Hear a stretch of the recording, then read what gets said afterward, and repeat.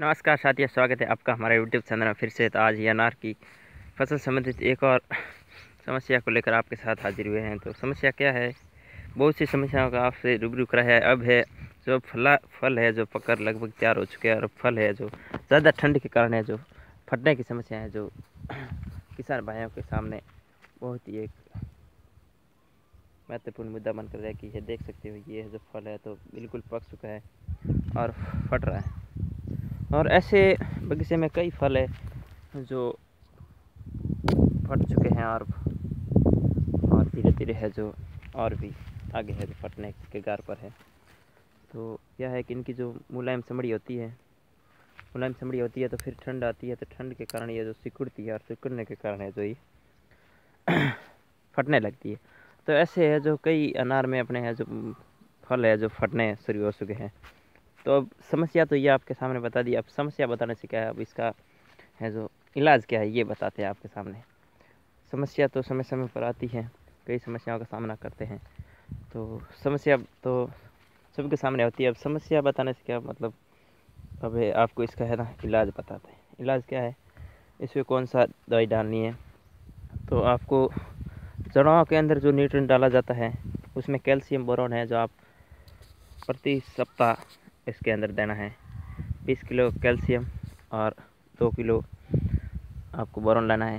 तो सात सात दिन छोड़कर आपको प्रति हज़ार पौधा पे दस किलो कैल्शियम लेना है और एक किलो बोरन लेना है। तो वो है जो सीधा मोटर द्वारा आपको बेंसुरी वाले जो भी आपकी प्रक्रिया है उसके द्वारा जड़ों में डाल देना है। सात दिन छोड़कर वापस दूसरा डोज देना है। कुल मिलाकर चार डोज देने हैं आपको। तो तो ये तो है जड़ों में देने वाली प्रक्रिया। अब है तो कौन सा स्प्रे करें? स्प्रे में आपको बता देते हैं। ये है जियो। अब इसमें आप देख रहे हैं कि ये तो पानी की बोतल है और पानी होगा नहीं, पानी नहीं। इसमें जियो है। जियो आपको करीबन 20 एम प्रति ड्रम लेना है।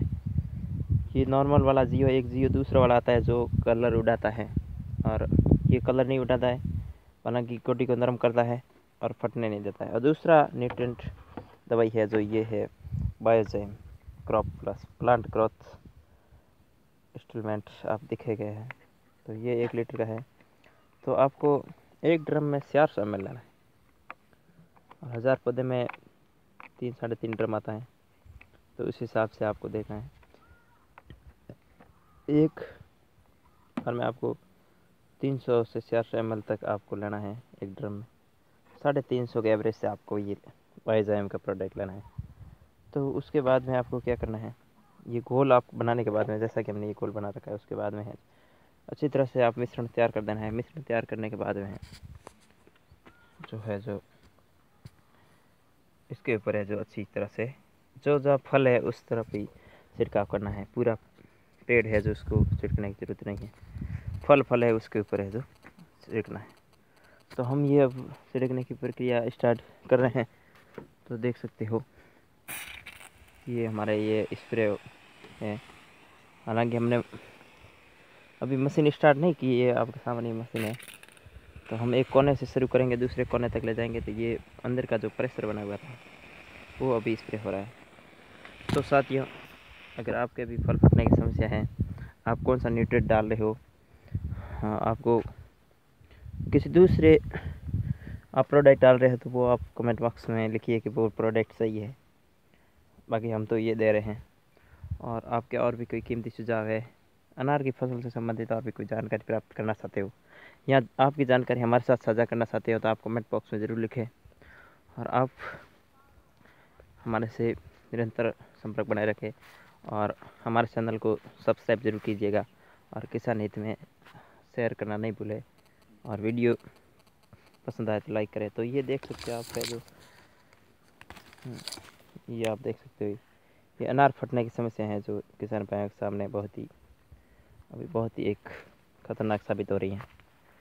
बहुत मेहनत करने के बाद में है जो ये फल फटना स्टार्ट हो चुके हैं। ये देख सकते हो ये ये फल बिल्कुल ख़राब हो चुका है। ये देख सकते हो ऐसे पूरे बगीचे में करीबन प्रति पौधे पर दो तीन दो तीन चार पौधे फल है जो फटे हुए हैं। तो ऐसा अगर गणना करें तो काफ़ी भारी मात्रा में नुकसान हो रहा है। तो साथियों, धन्यवाद। आपका साथ और प्यार यहीं बना रहे। बहुत बहुत धन्यवाद।